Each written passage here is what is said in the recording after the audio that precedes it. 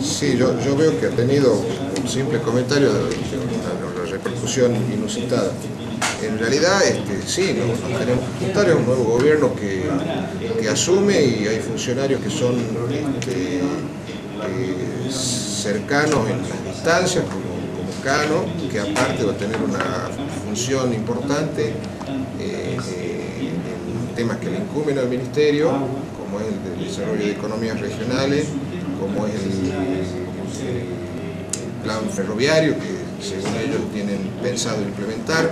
Y como muchas de esas cosas nosotros ya las hicimos, ¿no? Esto de, del puerto seco, de, trabajar, de hacer acuerdos con el Belgrano Carga, de este, intensificar las relaciones con, Chile, que es algo de lo que acabamos de hablar.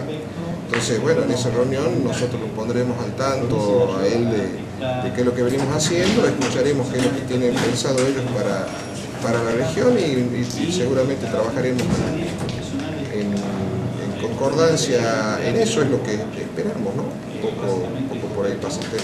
Puerto Seco completando sí, El Puerto Seco tuvimos que hacer un cambio de, de lugar de donde lo teníamos planificado porque la expectativa que hay en estos momentos es mucho mayor que la que teníamos cuando, cuando se, eligió el terreno, así que lo que se decidió es hacerlo en otro lugar eh, y eso es, lo que se está resolviendo en estos días, viendo cómo hacemos con, ese, con esos terrenos que son un lugar más o menos cercano, eh, siempre en recreo y siempre a la vera de la vía, ¿no? Eh, pero los recursos para hacerlo ya los tenemos, parte de esos recursos, por supuesto, proyecto importante, ¿no? Eh, va a ser, aparte va a ser un proyecto evolutivo donde se va a ir haciendo, va a ser modular, se va a hacer una parte, después otra parte, pero siempre en función de la demanda que vayamos teniendo. Entonces estamos viendo de hacerlo un, en un predio mucho más grande, que está en el orden de las 70 hectáreas, eh, pero eh, hacerlo en dos etapas, la adquisición de los terrenos, una etapa de 35 hectáreas y otra después de otras 35, y en esas 35 ir creciendo con la infraestructura. ¿no? Ministro, en relación a lo que va del año, el balance lo considera positivo, por un lado, y la otra, este, ¿usted cree que van a continuar los planes y la, la ayuda por los que ustedes habían conseguido? Nosotros, ustedes saben que nosotros dependemos muchísimo de Nación, ustedes saben que nosotros nos tocó heredar una provincia con el 95% de su participación gastada en sueldos y en, funcionamiento del Estado, y eso significa de que eh, para que Catamarca crezca se necesita del apoyo de Nación. Nosotros lo hemos dicho desde el primer día eh, y eso no ha cambiado, eso sigue siendo así. Eh, así que la predisposición de nuestro lado sigue, sigue siendo la misma, por una razón muy sencilla, si nosotros no acompañamos a nuestros productores, se cae el precio de su producción, o sea, si nosotros no intervenimos en el mercado como lo hemos venido haciendo, se cae el precio de ese producto. Cuando se cae el precio del producto, se cae el productor, y se cae la producción, y se cae el empleo, y se vuelve a lo de siempre. ¿no? Entonces, bueno, nosotros... Este, como dijo la gobernadora cuando le tocó hablar al respecto después de, la elección del 22 de noviembre, este, nosotros somos un gobierno que gestiona mucho, somos un gobierno con gran capacidad de gestión. Eh, ahora gestionaremos más eh, y bueno, y veremos cuál es la respuesta que tenemos de, parte del nuevo gobierno nacional que nosotros entendemos que, debiera ser positiva, esto es, no creo que tengan intención de perjudicar al productor y a las economías regionales. ¿no? ¿Ya tienen lo que va a ser el presupuesto 2016? Nosotros como ministerio. Sí, sí, nosotros tenemos un presupuesto que está eh, dividido en dos partes. Uno es el que tiene que, con recursos propios y otro con los recursos que vienen de, de nación y de, de internacionales como, como el, los recursos del BID a través del PROSAP y del PRODERI. ¿no? Entonces nosotros tenemos dividido de esa manera, con lo que es PROSAP y PRODERI, vamos a trabajar en las obras de riego y en, atender a algunos, algunos muchos pequeños productores de la provincia. Eh, con los fondos nacionales, son convenios que ustedes están al tanto, que firmamos con el ministro Casa Misquela por 38 millones de pesos, que bueno, ahora lo tiene que bajar el nuevo gobierno, ¿no es cierto? Que tiene que ver con comprar maquinaria, eh, plantas de alimentos balanceados, máquinas de dulce, o sea, digamos una serie, de, una serie de proyectos que en su totalidad suman 38 millones de pesos.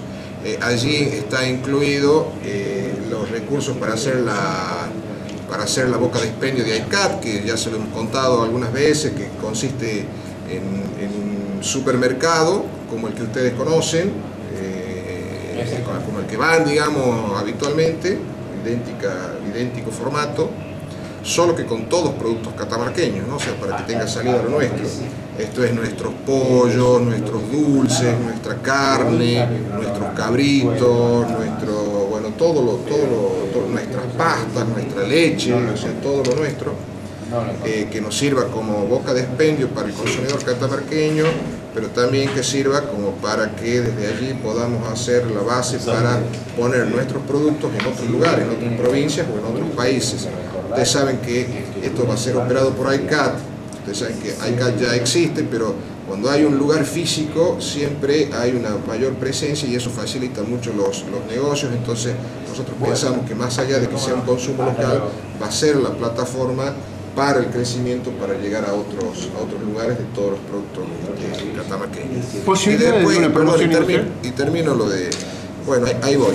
Eh, y después tenemos eh, lo que es el presupuesto provincial, o sea, con recursos provinciales, donde ahí hemos hecho fuerte hincapié, pedido de la gobernadora, en este, asignar recursos para promover la creación de empleo en Catamarca, básicamente en, la industria, eh, y eso, eh, para eso hemos reservado importantes fondos, importantes recursos, un porcentaje muy importante del Ministerio, para, eh, para aplicarlos en la promoción del empleo joven, que es lo que se, lo conocemos como el subsidio al empleo, que, que suma lo que son los... El, que es el aporte que se hace, el acompañamiento que se hace a las empresas que se radican, con hasta el 100% del salario mínimo vital y móvil, que son 6.060 pesos hoy por hoy.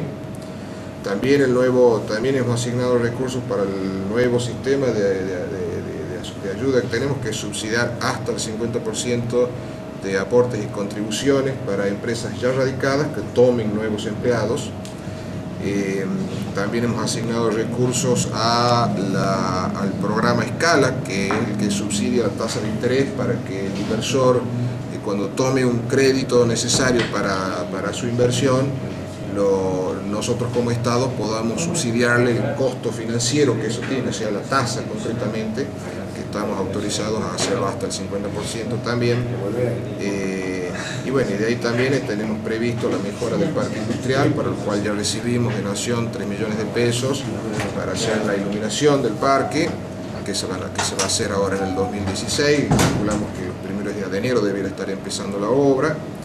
Eh, y también este, eh, vamos a intentar este año terminar el cerramiento del parque industrial, con lo cual digamos ya estaríamos con, un parque eh, con todos los servicios y, en perfectas condiciones. ¿no? nos olvidemos que nos, tocó este, empezar a gestionar el parque cuando no tenía ni energía, ni agua, ni gas, ni luz, ni cerramiento. Hoy tiene energía, agua, gas, en muy pocos días iniciamos la obra de iluminación y si Dios quiere vamos a terminar el 2016 con el cerramiento.